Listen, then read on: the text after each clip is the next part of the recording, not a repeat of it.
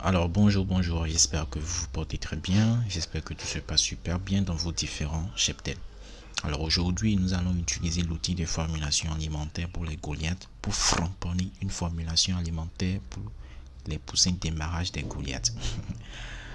on va l'utiliser, je vais faire ça en live, on va l'utiliser en direct et je vais vous montrer comment l'utiliser pour faire euh, la formulation alimentaire pour les poussins de démarrage. Vous pouvez le faire pour les croissances, la croissance 1 aussi, la croissance 2 et les 2, c'est la même stratégie. Ce que je m'en vais vous montrer maintenant, on va juste l'utiliser pour faire la formulation alimentaire pour les poussins Goliath. Donc si vous achetez en même temps les poussins Goliath, vous aurez euh, à leur donner de la provente démarrage ou de la provente miette. Voilà, c'est ce qu'on appelle démarrage. Alors, j'ai déjà expliqué ce qu'on appelle démarrage, croissance 1, croissance 2, pondeuse. Ça dépend de vos objectifs. Le but aujourd'hui, le but de cette vidéo est de l'utiliser pour faire une provente démarrage. Alors, ici, comme je l'ai dit dans la vidéo précédente, vous allez mettre, comme vous voulez faire une provente démarrage, vous mettez ici démarrage.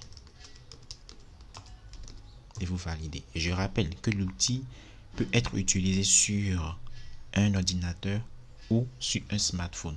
Vous pouvez le faire sur n'importe quel support. Il suffit juste, si vous êtes sur smartphone, de télécharger l'application SL et vous pouvez l'utiliser automatiquement. Alors, je vais fabriquer l'alimentation démarrage pour les poussins Goliath. Alors, l'énergie ici est de 2800 à 3000 kilocalories par kilogramme. La protéine de 21 à 23%. Le calcium est de 1%. Le phosphore 0,45%. La méthionine 0,34% et la lysine 0,90%. Alors, nous allons essayer de faire une formulation alimentaire pour démarrage. Suivez attentivement si vous avez euh, l'intention de prendre l'outil. Parce que l'outil vous aiderait beaucoup. Il y a plusieurs matières premières ici. Plusieurs, assez de matières premières. Et à vous maintenant, lorsque vous voulez commencer la formulation alimentaire, il vous faudra identifier les matières premières qui sont disponibles dans votre région. Les matières premières que vous pouvez facilement trouver dans votre région. Après avoir identifié ces matières premières-là, c'est après avoir identifié ces matières premières-là, vous ouvrez l'outil et maintenant vous fabriquez votre alimentation. Alors, je vais vous montrer. Je suppose que dans ma région, j'ai le maïs. J'ai le maïs. Dans ma région, j'ai le son de maïs. Je suppose que aussi euh, j'ai le touto de soja. Le de soja non dégraissé. dégraissé euh, touto, de soja, touto de coton. Euh, farine d'asticot. Farine de poisson. Moringa séché. Et la coquille d'huître. Voilà les matières premières que j'ai dans mon cheptel. Ça. Alors, ce qu'on va faire, c'est qu'on va attribuer des kilogrammes à ces différentes matières premières là. Alors je disais que j'ai le maïs dans ma région. Par exemple, je mets 100. Moi, c'est ma méthode. Et je sais que si, je suis sûr que si vous utilisez cette méthode là, lorsque vous allez vous acquérir de cet outil là, ce serait plus facile pour vous. Alors le maïs, je mets 100 kg. Le son de maïs, je mets 100 kg.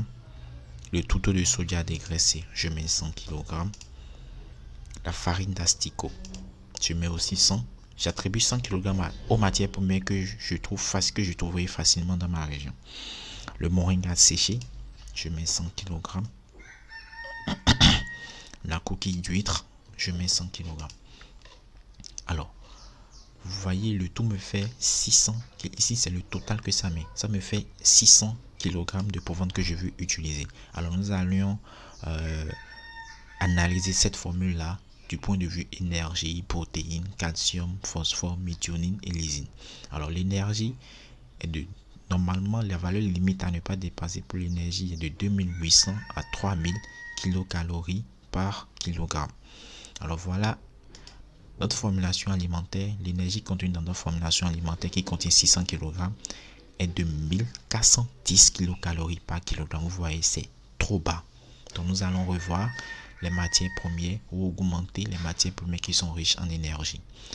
Parlons, au niveau, parlons de, la protéine. La protéine, la valeur limite à ne pas dépasser, c'est de 21 à 23%. Or, la valeur de notre formulation alimentaire est de 23,65%. Nous sommes dans les normes.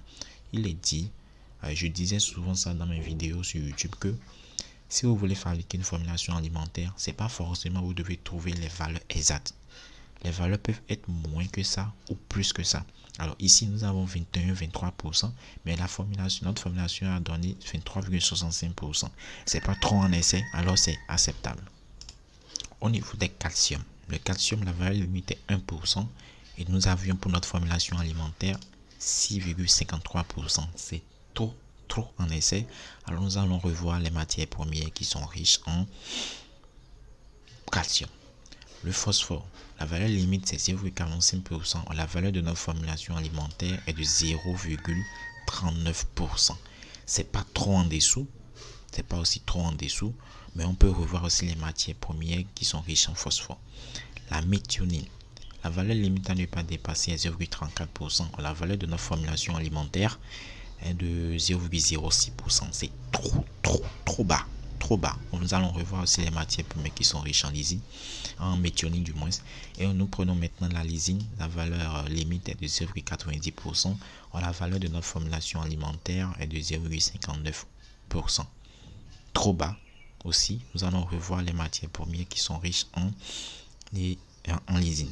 Alors voilà un peu lorsque vous voulez fabriquer une formulation alimentaire avec mon outil, vous attribuez d'abord les kilogrammes aux matières premières et après avoir attribué des kilogrammes à vos matières premières, vous regardez maintenant, vous analysez l'énergie, vous comparez l'énergie contenue dans une formulation alimentaire à l'énergie euh, à la valeur limite à ne pas dépasser pour l'énergie afin de voir si vous voulez, si vous pouvez diminuer les kilogrammes ou augmenter certains kilogrammes. Alors nous allons prendre l'énergie. L'énergie, la valeur limite est de 2800 à 3000 kcal par kilogramme. La valeur limite, c'est de 2800 à 3000 kcal. Or, notre formulation alimentaire donne 1410 kcal par kilogramme. 1410 c'est trop bas comparé à 2800 ou 2000, à 2800 ou 3000. C'est trop bas. Alors, ce qu'on va faire, nous allons augmenter. nous allons voir dans nos matières premières là quelles sont ces matières premières qui sont riches en énergie? Nous allons augmenter le kilogramme afin d'avoir euh, un taux d'énergie qui soit dans les normes. Alors ici, nous avions mis 100 kg pour euh, le maïs. Nous allons mettre par exemple 200 pour voir. Quand on a mis 200, ça fait 1694. Alors, nous allons identifier les matières premières qui sont riches en énergie. Matières premières qui sont riches en énergie. Alors, nous avons le maïs. Nous avons le son de maïs. Nous avons le taux de soja dégraissé. Nous avons aussi, alors c'est terminé. Dans nos matières premières, nous avons que trois. Nous avons le maïs, le son de riz, le son de maïs du moins et le taux de soja dégraissé. Alors c'est sur ces trois éléments-là, nous allons agir. Alors, si on doit classer ça, c'est que le maïs est plus riche en énergie. Après, le taux de soja dégraissé. Et enfin, le son de maïs. Donc, nous allons voir rapidement ce qu'on peut faire pour pouvoir avoir une matière première, pour pouvoir avoir un taux d'énergie qui soit dans les normes. Donc, ici, nous avons mis 200. Ici, euh, c'était 100 si c'était 100 nous allons devoir diminuer à 50 ici diminuer à 50 ici augmenter à 300 ici augmenter à 300 voilà. Ça revient à 1818 kcal par kilogramme. 1818 kcal par kilogramme. Alors euh, nous allons laisser ça parce que et aller sur d'autres matières premières. Nous allons voir pour le calcium par exemple. Le calcium par exemple, nous avons ici qui est 5,58. 5, j'ai pas mis couteau de coton. J'avais dit que j'avais couteau de coton dans le truc. Je vais attribuer ça. Alors ici, nous avons le calcium qui est la valeur limitée qui est 1%. La valeur de notre formulation alimentaire qui donne 4,91%. Donc nous allons revoir les matières premières qui sont riches en énergie, en calcium.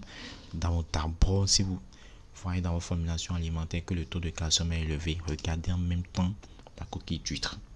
La coquille d'huître ici c'est 100 kg, c'est ça qui donne les 4,91. Nous allons diminuer drastiquement à 10. Alors lorsque nous avons mis 10 kg pour euh, la coquille ça donne ici 1,10%. Nous allons laisser ça d'abord. Nous allons au niveau de... Vous avez vu, lorsqu'on a diminué aussi euh, l'énergie qui était à 1800, donne maintenant 2095,21 pour kilocalories par kilogramme. Nous allons toujours continuer, c'est ce que vous allez faire, vous continuez, vous ajuster les kilogrammes jusqu'à trouver ce qui marche. Alors, pour euh, le moringa séché aussi, le moringa séché est riche en protéines. Vous avez vu, la protéine a augmenté 24,07, c'est déjà trop en essai. Alors, nous allons revoir les matières mais qui sont riches en protéines. Nous allons, revoir, nous allons revenir sur l'énergie, ne vous inquiétez pas. Donc, on fait les autres d'abord. Puis sur l'énergie, c'est la, c'est c'est le constituant qui contient le plus grand, la plus grande valeur. Donc, il faut faire les autres d'abord avant de revenir sur ça. Alors, la protéine, 24,07, il faut revoir les matières premières qui sont riches en protéines. Alors, tout taux de coton, tout de coton, à 1100. Euh, je vais mettre taux de coton 50. Et ça revient à 22,79. Je vais mettre... Euh, par exemple euh, hmm, par exemple 110 et je laisse le taux de coton à 100 ça va toujours les 24,75 euh, farine de poisson. J'avais dit que j'avais la farine de poisson aussi. Je mets 100 25 euh, la farine de poisson. Farine d'asticot farine d'asticot d'asticot pour venir à la je mets 20 euh, je mets 20 ça revient à 23,114 c'est encore un peu trop en essai. Encore un peu trop en essai. Nous allons revoir pour la farine de poisson. Euh, nous allons diminuer à 50 voilà on diminue à 50 euh, le moringa séché aussi je vais mettre 10 le moringa séché ouais, 10 pour le moringa séché. Alors là, nous avons déjà euh, 22,40% pour la protéine, 0,93% pour le calcium qui est dans les normes, 0,62% pour le phosphore. Là, on doit un peu revoir.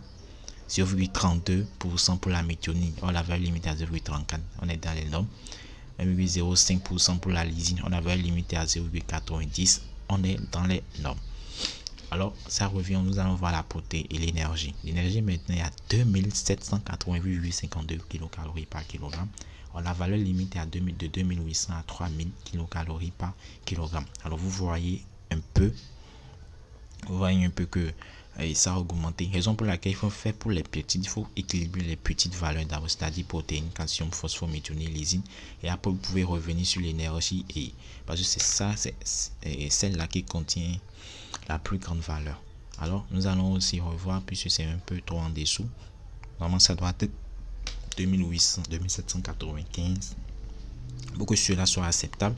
Maintenant, c'est à 2768, on doit revoir. Donc, euh, nous allons augmenter un peu ici 300 euh, nous allons mettre 310 pour voir. Euh, non 350 350 voilà. Si on a mis 350 ça revient à 2816,36 ce qui est dans les normes entre 2800 et 3000 kcal par kilogramme. La protéine qui est de 21,39 euh, la valeur limite de 21-23%. On est dans les normes. Le calcium qui est à 0,81 est dans les normes. Le calcium 0,86, on la valeur limitée à 1%, on est dans les normes. Le phosphore 0,60, on la valeur limitée à 0,45, on est dans les normes. La méthionine 0,91 et 0,34, on la valeur 0,31% pour notre formulation alimentaire. On la valeur limitée à 0,34 on est dans les normes. Et la lysine 0,90% or la valeur est 0,99% on la valeur limitée à 0,90% on est dans les normes. Maintenant on vient de faire une formulation alimentaire pour démarrage. Et ça contient 660 kilocalories 660 kg pour notre provence au complet. Alors là vous avez vu trouver l'argent pour faire 660 kilocalories et kilogrammes de provence à, bas de ce qu'on a fait, ce serait un peu compliqué. Et c'est donc là maintenant, c'est donc là maintenant, vous allez faire une règle, de, une règle de 3. vous devez identifier, vous lui dire par exemple que vous voulez faire une provente alimentaire de 100 kg, mais que vous n'avez pas la capacité de faire pour 660 kg de provente. Alors il faut passer par une simple règle de 3. Alors, alors il faut passer par une simple règle de 3. Alors je reviens ici, je vous montre ça rapidement. Nous avons, nous allons faire pour le maïs. Je, mets euh, maïs ici. Je reviens en bas. On fait ça fait 660 kg de provence qui entraîne qui va entraîner 350 kg de maïs. Maintenant dans 100 kg de provence nous aurons combien de kilogrammes de maïs. Voilà. Donc avec ça, vous allez faire, eh, pour ceux qui ont été à l'école, bon, ça, vous avez fait les 100, les résultats vont donner le résultat. Euh, je mets ici euh, point d'interrogation, donnera, ça fait 100, ça fait 100 fois 350 sur 660, ça fait 100 fois 350 sur 660 vous allez voir le résultat quand ça va, nous allons ouvrir la calculatrice. 100 fois 350 sur 660 alors ça donne 53 53,03 que vous pouvez arrondir à 53 kg vous avez vu? Donc ça donne ça veut dire 660 kg nous avons 350 kg de maïs Maintenant, sur 100 kg, nous aurons 53 kg de maïs. Alors, c'est comme ça que vous devez faire les règles de 3. Nous allons faire aussi avec... Euh, avec la protéine. je pense, euh, avec le son de maïs. Son de maïs. Alors, nous allons mettre 660 en 660 kg. Nous avons 50 euh, kg de son de maïs. Alors dans 100 kg, nous aurons combien de son de combien de kilogrammes kilogrammes sont de maïs? Alors ici vous allez faire euh, le kilogramme du son de maïs va donner donnera les 100 fois les 50 sur les 660 ce qui donnera maintenant voyez la calculatrice encore dans les 100 fois 50 sur 660 ce qui donne 7,57 kg alors 7,57 kg et vous pouvez arrondir à 8 kg alors voilà un peu comment vous pouvez faire euh, les 5 de 3 pour trouver ce qu'il faut vraiment. Si vous voulez si vous fabriquez une provente par exemple de 1000 kg et que vous voulez partir de 1000 kg pour trouver 100 kg voilà ce que je pouvais faire. Une simple règle de 3 pour, euh, faciliter, pour faciliter la tâche. Alors je rappelle dans 600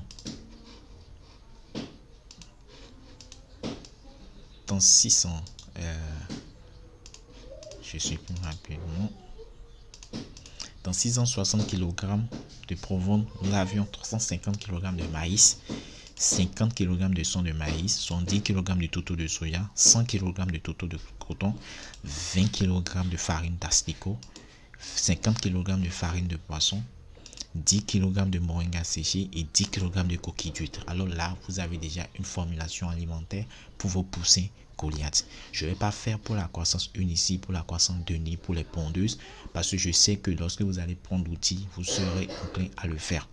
En fonction des matières premières qui sont disponibles dans vos régions, vous pouvez le faire facilement. Parce que ça, c'est pour vous montrer comment l'utiliser pour faire une formulation alimentaire. Mais lorsque vous allez prendre l'outil, vous aurez la facilité de faire, par exemple, pour croissance 1, pour croissance 2 et pour les pondeuses. Ça vous faciliterait beaucoup, beaucoup, beaucoup la tâche beaucoup la tâche.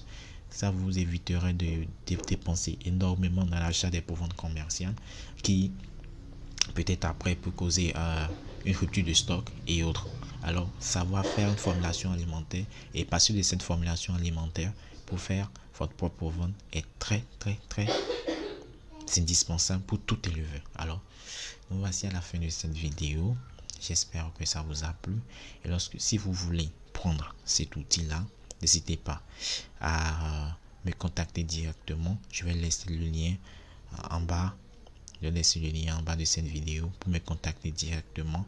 Lorsque vous allez me contacter, vous allez prendre, vous allez euh, payer l'outil et, vous allez l'utiliser maintenant sur, dans votre cheptel. L'outil est à 20 000 francs. Il n'y a pas à débattre. L'outil, cet outil est à 20 000 francs. Parce que vous pouvez, si vous voulez acheter de la provente pour vos sujets, vous allez dépenser plus de 20 000 francs pour acheter cette provente-là. Et cela ne va même pas faire un mois. Mais lorsque vous allez prendre cet outil, vous pouvez l'utiliser à vie. Donc 20 000 francs n'est absolument rien. Rien comparé à ce que vous allez gagner. Alors, à très bientôt pour ceux qui veulent prendre l'outil. Ciao, ciao.